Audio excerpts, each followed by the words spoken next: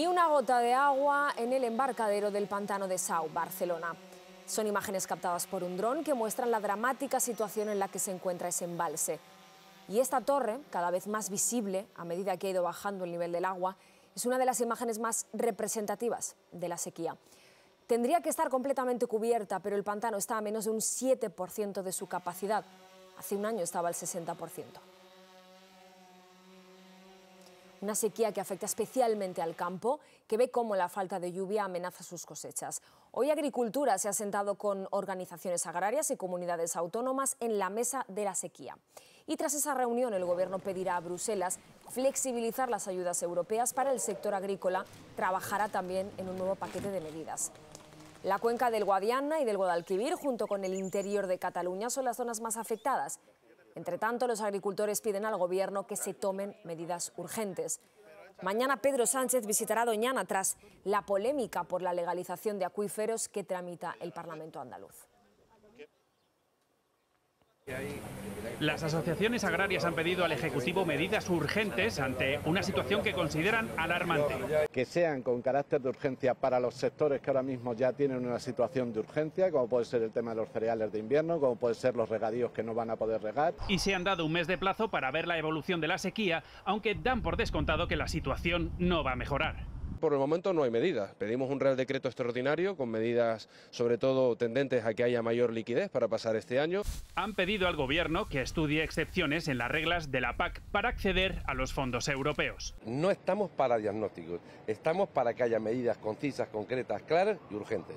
No queremos que se convierta la sequía y, el problema grave que tenemos los agricultores y los ganaderos en un arma arrojadiza entre comunidades autónomas y entre el gobierno central. Temen que la sequía pueda provocar un aumento de los precios de los alimentos si se pierden las cosechas. El Banco de España calcula que unas 375.000 familias pasarán a una situación de vulnerabilidad por la subida de las hipotecas. Es lo que recoge su informe de estabilidad financiera.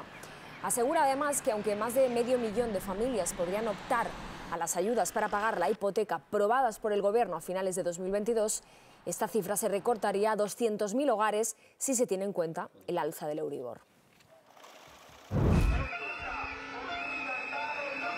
Y hoy jornada de huelga de los funcionarios de justicia y manifestación en Madrid. Piden a los ministerios de Justicia y Hacienda una subida de sueldo de entre 350 y 450 euros al mes y cifran en 100.000 las actuaciones judiciales suspendidas hoy. Justicia les ha convocado mañana a una reunión, pero recuerda que una parte de los funcionarios depende de las comunidades autónomas. Sin nosotros no hay justicia y por eso estamos aquí hoy, para reclamar que se reconozcan y se retribuyan las funciones que efectivamente realizamos en los juzgados todos los días. Burgos, un policía nacional ha muerto en un tiroteo cuando iba a ser detenido por otros agentes. El fallecido estaba siendo investigado por asuntos internos por temas relacionados con el narcotráfico. Le habían retirado el arma, pero había robado la de un compañero.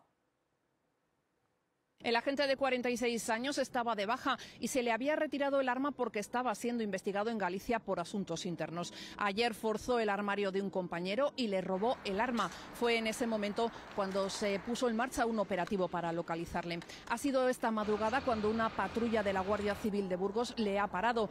Él les ha recibido con disparos y se ha iniciado una persecución a la que se han sumado más patrullas. Finalmente, el huido ha parado en esta gasolinera de Villagonzalo Pedernales Aquí se ha producido un segundo tiroteo donde ha recibido varios impactos y finalmente ha fallecido. Salvamento Marítimo ha rescatado a 284 personas que viajaban en cinco pateras en aguas de Canarias. La última, con 49 personas, una embarcación que pudo haber salido desde Tantán, en Marruecos. Se espera su llegada en el muelle de la Cebolla, en Arrecife. Esta mañana Salvamento ha asistido en el mar a otras 235 personas de origen subsahariano entre ellas 38 mujeres y 6 niños. Todos han desembarcado en el muelle de Gran Tarajal, en Fuerteventura y en el puerto de Arguineguín, Gran Canaria.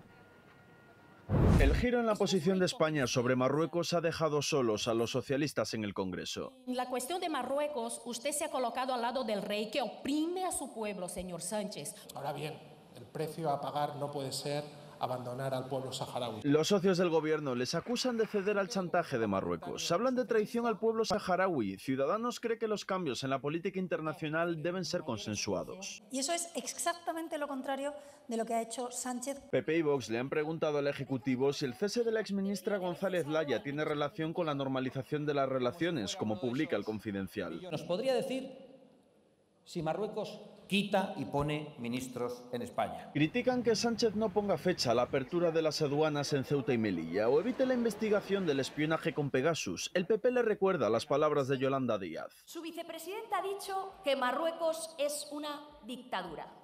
¿La va a cesar? ¿Sí o no? Declaraciones que respalda el ministro de Consumo. Me siento muy identificado por todos los aspectos de política que dijo la vicepresidencia. El presidente asegura que con la nueva etapa aumentan las relaciones comerciales. También destaca su papel en el control de la inmigración. En el primer trimestre del año 2023, las llegadas irregulares a la ciudad autónoma de Ceuta y también a la de Melilla han disminuido en un 78%. Reivindica a Marruecos como un país amigo y anima a los grupos a que si tienen otra solución la presenten. Si alguien quisiera eh, aplicar una política alternativa, debe explicar a los españoles si es compatible con todo este programa. Afirma que 11 países europeos apoyan la propuesta de autonomía del Sáhara que ha respaldado España. Y en Sudán siguen los enfrentamientos entre el ejército y los paramilitares. El sonido de la artillería no ha dejado de escucharse durante la tregua de 24 horas que habían negociado las partes y que debía terminar esta tarde. Los dos bandos se acusan de atacar hospitales y zonas civiles. Hay más de 270 muertos y cerca de 2.000 heridos. El gobierno español, ha dicho el presidente Sánchez, está preparado para evacuar a los españoles si es necesario. Bruselas se abre a la importación de cereal de Ucrania. La Comisión Europea permitirá como medida de emergencia que países como Polonia, Hungría, Bulgaria, Rumanía y Eslovaquia, que vetan la importación de grano ucraniano, lo reciban únicamente para su tránsito y transporte a otros Estados miembros de la Unión Europea o al resto del mundo. La Unión Europea destinará 100 millones en ayudas para los países afectados por la importación de cereal. El Pleno del Parlamento Europeo ha abordado hoy la orden de arresto contra Putin de la Corte Penal Internacional como presunto responsable de la deportación ilegal de niños ucranianos a Rusia. La vicepresidenta de la Comisión Europea para Valores y Transparencia considera crucial que los países que investigan los crímenes de guerra rusos en Ucrania compartan información para construir el caso.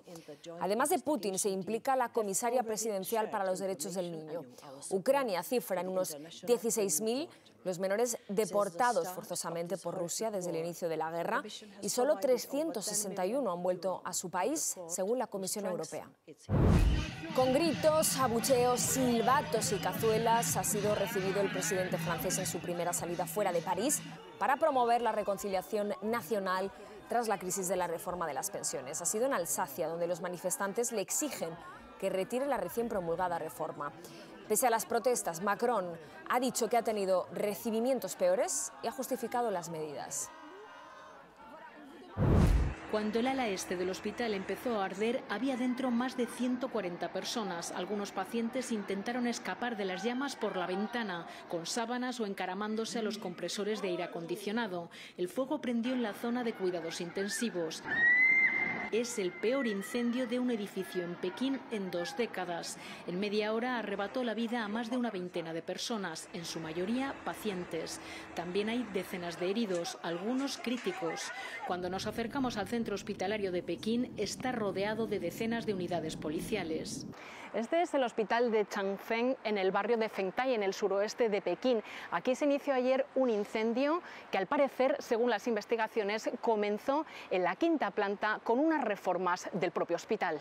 La investigación preliminar ha mostrado que el accidente fue causado por chispas prendidas por una sustancia volátil de pintura inflamable mientras se reamueblaba el hospital, ha explicado el subjefe de los bomberos.